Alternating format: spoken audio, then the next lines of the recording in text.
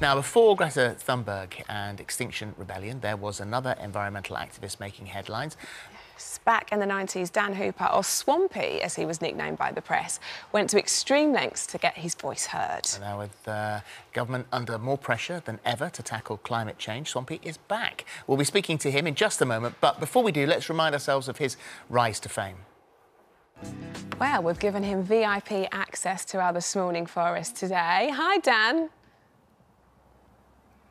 Hello. Hiya. Morning. So, you've been out of the public eye for over 20 years now. Why now? Why, why the return to processing right now? Well, um, it's because uh, climate change is absolutely needs uh, tackling right now. Um, and the government uh, announced this massive road building program. HS2 is happening, all these acts of ecocide. Um, and I just couldn't sit back and uh, watch it happening. Um, Well, you- Protest works, basically. You never, uh, you never actually stopped being an activist. You're still involved, you know, sort of in, in, in various ways, not quite as publicly obvious. Um, and uh, did you did you feel what what made you stop? Did you feel that you know your fame was almost uh, distracting from the message?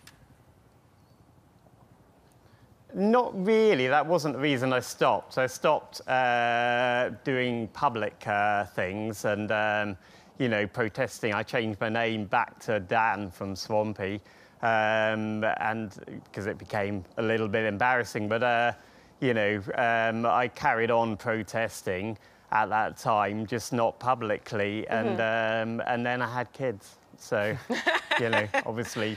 Family comes first at that point, Absolutely doesn't that. it? You're you're off grid, aren't you, in, in Wales, pretty much? Yes, yeah, yeah. We have solar panels. We do um, a lot of our, or try and grow as much veg as we can. Um, you know, we try and live an impact, a low impact lifestyle um, if we can, you know, as much as possible.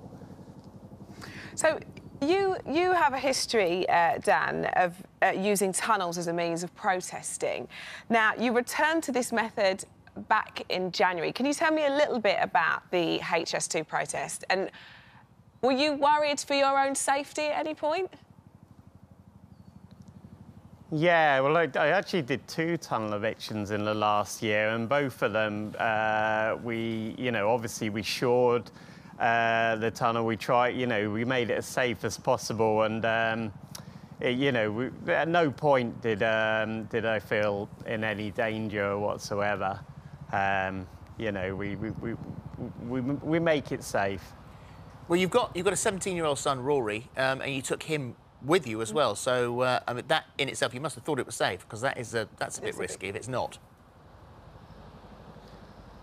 Yes, I mean, um, you know, Rory wanted to do uh, the tunnel eviction. He, he, uh, he's very into the environmental cause, you know, and, um, you know, but that was, um, in some ways, that was the main reason I went down was because I wasn't going to let Rory go down by himself Oh, at his age. But, um, you know, he's young, you know, and he needs a voice too, you know, because it's, it's their future, isn't it? Um, and uh, uh, people like Extinction Rebellion um, and Greta, who, uh, who we mentioned in the in introduction, sort of picked up that baton and, uh, and, and, and flying with it. What about uh, Extinction Rebellion's uh, tactics? Uh, that Because that's also, as you have done, that is disruptive. Well, yeah, I mean, things can be disruptive, but, um, you know, climate change is going to be very disruptive. You know, the, the, what we do, the, the minor disruption that might happen for an Extinction Rebellion protest is nothing compared um, to uh, what's going to happen with climate change. You know, people's homes are getting flooded, tornadoes, you know, it's only going to get worse. So, you know, really, you know, a minor bit of inconvenience for people sometimes, you know, it's nothing compared to what we're trying to actually put a stop to. Um, protest works, you know, this is. It, You, you Go can't on. absolutely. You can't get anything done by sitting in your garden doing Absolutely nothing, can that, you? yeah. Um, but but the Home Office spokesman has said freedom Hmm. to protest is a fundamental right. Current laws to manage highly disruptive protests are out of date and not fit for purpose. And new measures in the police crime sentencing and courts bill are designed to tackle the selfish minority of protesters who are highly disruptive and whose actions endanger the public. And as we said, you know, you can't you can't protest um, and nothing you know nothing be done, nothing happens. Sort of sit in your protest in your s- sitting Quietly. room, sitting on the sofa.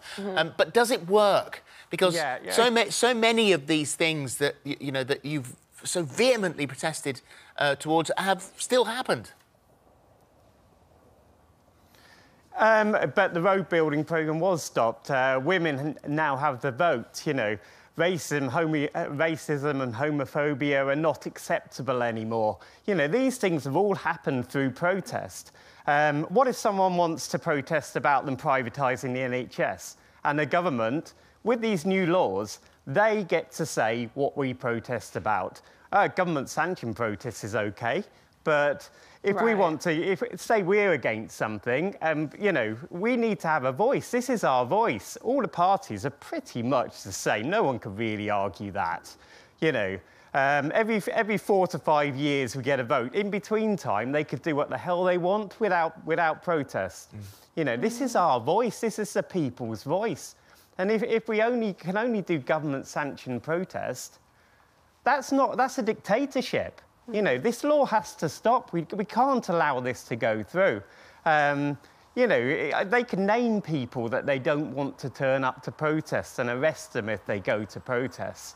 You could get done for having, uh, you know, they could stop and search a vehicle if they think they've got placards in the back with these laws. So it's illegal to live on a protest site with these laws, you know. We really have to stop this. Um, it's the police crime and sentencing bill, and not enough's been said about this. Point But well we really made. need Yeah. to stop Dan, this. thank you as always. Thank you very much indeed for talking to us today. Um, Thank you.